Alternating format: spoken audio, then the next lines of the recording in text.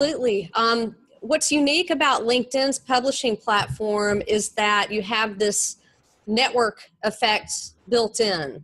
Essentially, there's no other publishing platform or content platform online where you put a piece of content out there and all of a sudden you've got this network effect. You have built in connections and built in followers who have the ability to not only see your, your post that you publish, but share it easily share it or like it or comment on your post to where their network connections can also see your work and engage with it. And so you've got this exponential network effect to your your thought leadership your writing your insights by publishing on linkedin. And so that um, to me is really unique and exciting and different i guess unique different same thing about linkedin and, and putting your content out there and why I think it's it's a good place to be focusing right now.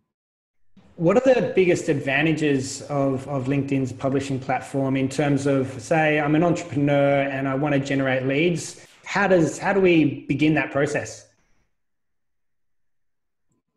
Yeah, so you're, when you publish on LinkedIn, your posts aren't just limited to the link the LinkedIn um, environment, let's say. So any blog post you publish on the LinkedIn platform, they're going to be indexed by search engines. So you can be discovered by your ideal clients and customers in Google searches or Bing searches or something like that.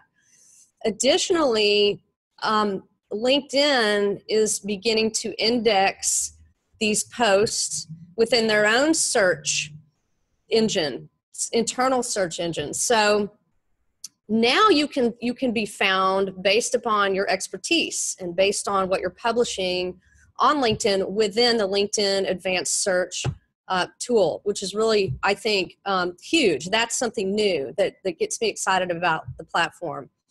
But with every post that you publish you can drive traffic to your website. You can drive traffic to your linkedin profile. Um, the more profile views you can get on linkedin uh, the more good things can happen for your business. And you can integrate calls to action for lead generation into these LinkedIn blog posts. So, uh, and at the same time, position yourself as a, a credible authority on your topic, in your industry, in your market. And so it's just, um, you know, all around you've got all these great advantages going on here. There just really isn't a good reason not to take advantage of LinkedIn publishing right now, in my opinion.